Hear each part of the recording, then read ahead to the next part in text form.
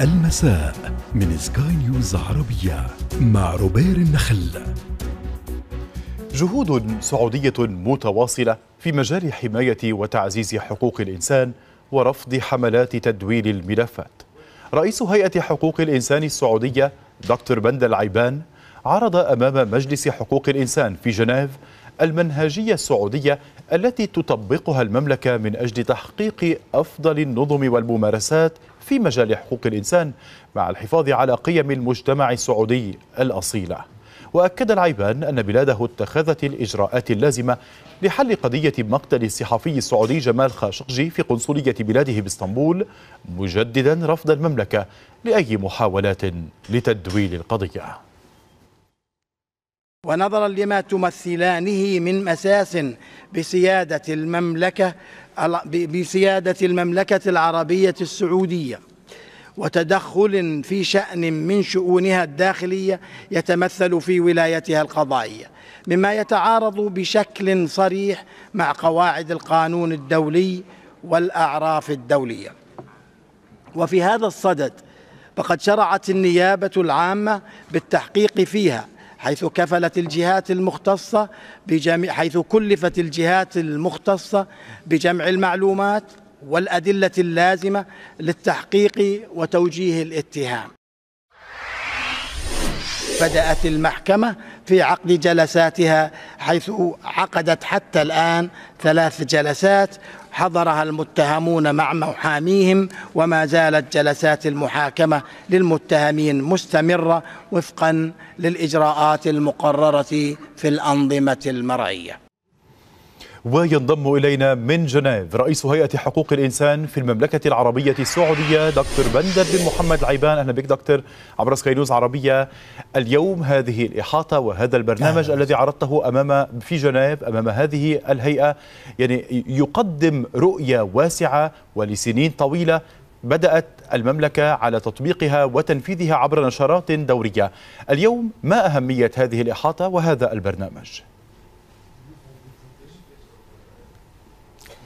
اولا أشكر الأخوة في سكاي نيوز على هذه الاستضافة وتأتي هذه الإحاطة اليوم من أجل الإجابة على ما قدم للمملكة من توصيات أثناء الاستعراض الدوري الشامل الذي عقد في نوفمبر 2018 ويأتي هذا الاجتماع اليوم وهذا العرض لإعلان قبول المملكة بتوصيات التي قدمت لها وتسبيب عدم قبول بعضها.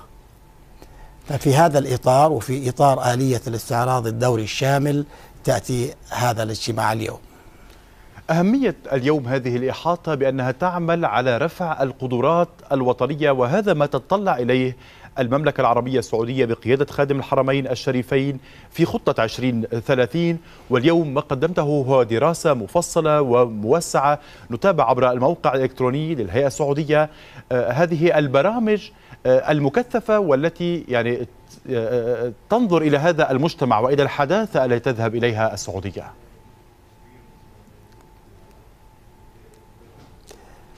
لا شك أن المملكة العربية السعودية بقيادة سيدي خادم الحرمين الشريفين الملك سلمان بن عبد العزيز وسمو ولي العهد الأمين صاحب السمو الملكي الأمير محمد بن سلمان بن عبد العزيز يقومان بالتأكيد دوما لكل أجهزة الدولة على أهمية أن تأتي حقوق الإنسان في الأولوية أثناء تطبيق رؤية 2030 هذه الرؤية التي تبني للمستقبل التنمية المستدامة للمملكة. وفي إطار هذه التنمية المستدامة تؤخذ معايير حقوق الإنسان كأولوية لتنفيذ هذه البرامج التنموية. ولذلك يأتي هذا التأكيد اليوم ليؤكد أن المملكة العربية السعودية تؤكد على نهجها المنبثق من تطبيق أحكام الشريعة الإسلامية والأنظمة المرعية في المملكة أثناء تعاملها داخليا وخارجيا. وفيما يتعلق بحقوق الإنسان فمعايير الدولية التي لا تختلف ولا تتعارض مع أحكام الشرعية ومع أنظمة المملكة السائدة هي محل الترحيب والتأكيد في كل مناسبة.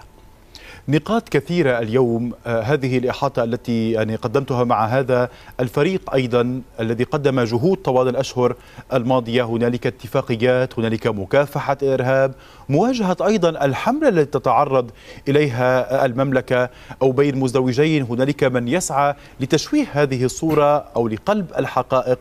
اليوم تقدمتم بهذه التوصيات وبكلام واضح وصريح ويحمل الكثير من الجرأة.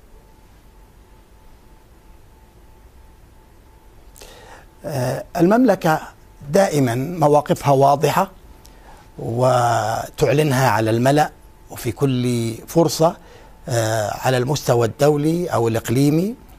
هي مع آه، السلام ومع حقوق الإنسان ومع التنمية المستدامة التي تنفع الشعوب التي تبني التي تؤصل لمجتمع قائم على العدالة والشفافية والمساواة. ولذلك فهذه الجهود المتواصلة من المملكة العربية السعودية على المستوى الإنساني في تقديم المساعدات الإنسانية في جميع أنحاء العالم للجهات التي تحتاجها من خلال الإسعاف وقت الكوارث أو الهبة لمساعدة اللاجئين أو مساعدة محتاجين تأتي في إطار هذه السياسة الداعمة من المملكة لكل محتاج بغض النظر عن خلفياتهم الدينية أو آه، من أين هم ومن آه، مختلف آه، أقطار العالم. وبالتالي تأتي كل ما تقدمه المملكة من خلال مركز الملك سلمان للمساعدات الإنسانية بدون شروط. وإنما الشرط الوحيد أن تصل إلى المحتاج. آه، أما فيما يتعلق بالتنمية داخل المملكة فهي مبنية كما ذكرت على أسس آه، ونهج واضح مبني على خطط ودراسات أساسها خدمة المواطن السعودي والمقيم السعودي ومن والمقيم في المملكة العربية السعودية آه، ومن يأتي كشريك للبناء وللإفادة للإنسانية في كل مكان.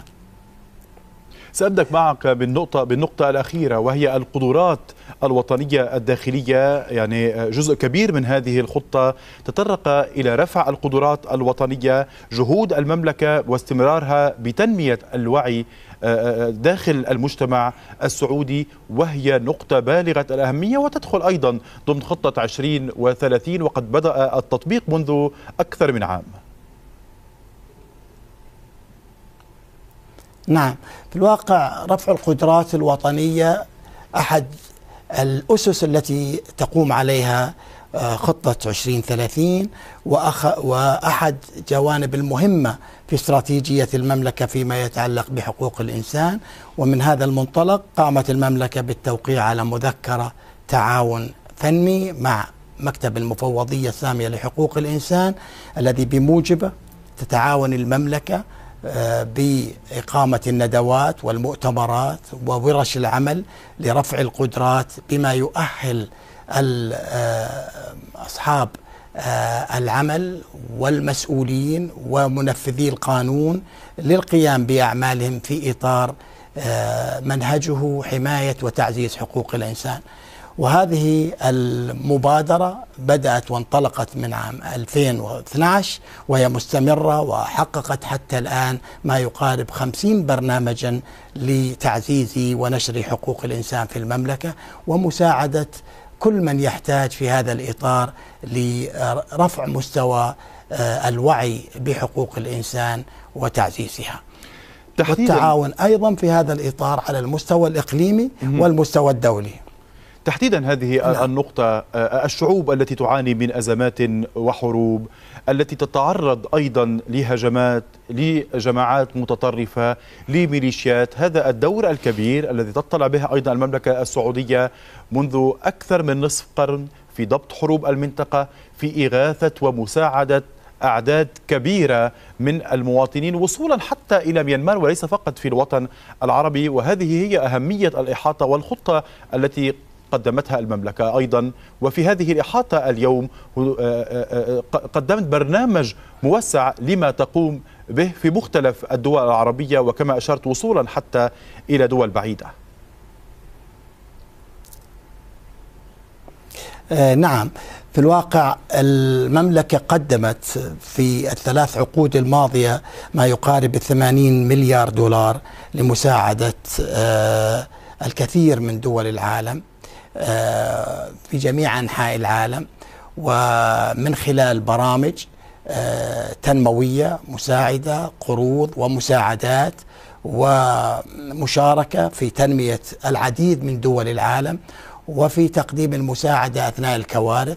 ولعل ما ذكرناه اليوم فيما يتعلق باليمن والفترة الأخيرة فقط أكثر من 13 بليون دولار. آه، وفي آه، مؤتمر المانحين قدمت المملكة 500 مليون دولار للأشقاء في اليمن ومساعدات المملكة تتعدى آه، الأشقاء والقريبين والمنطقة التي نعيش فيها إلى مناطق أوسع وإلى أن نكون بالفعل عضوا نافع ومساهم مساهمة فعالة في الأسرة الدولية آه، كلما كان ذلك آه، ممكنا آه، لتقديم المساعدة. وهذا ما يتم في أغلب الأحوال أن المملكة لا تنتظر عندما تحون ساعة الحاجة لكثير من دول العالم فهي تتقدم آه، وهذه التوجيهات التي تصدر من القيادة في المملكة العربية السعودية آه، ليست مشروطة بأي شكل من الأشكال عندما تقدم المساعدة الإنسانية للإنسان في أي مكان. يبقى يعني دور القضاء السعودي الذي ينظر إلى كل الملفات التي تقدم آه، تقدم أمامه. كان لكم أيضا اليوم موقف حاسم آه، آه، قضية المواطن السعودي جمال خشقجي تطرقتم إليها بكل وضوح في رد على كل التوصيات السابقة وهذا أخذ يعني أهمية اليوم في كلمتكم. هذا صحيح. المملكة العربية السعودية تؤكد دائما أن قضاءها سلطة مستقلة آه، يمارس سلطاته المقررة شرعا ونظاما والمتوافقة مع معايير الدولية للسلطة القضائية واستقلالها آه، تتوفر كل معايير الشفافية والنزاهة والعدالة في هذا القضاء وبالتالي فالقضاء في المملكة يمارس سلطة الشرعية والقانونية بمعزل تماما عن أي مؤثرات أخرى وبكل نزاهة وحيادية. آه، ولذلك آه، فإن آه، المملكة مطمئنة إلى سير العدالة في قضائها لكل من يتهم بأي قضية أو يذهب إلى القضاء في المملكة. فلأن الهدف المنشود هو العدالة والمساواة أمام القضاء للجميع. دكتور بندر بن محمد العيبان رئيس هيئة حقوق الإنسان في المملكة العربية السعودية. كنت معنا مباشرة من جنيف. شكرا جزيلا لك.